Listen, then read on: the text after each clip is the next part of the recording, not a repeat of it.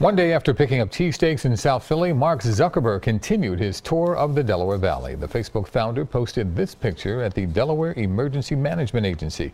He met yesterday with Governor John Carney to talk about responses to natural disasters.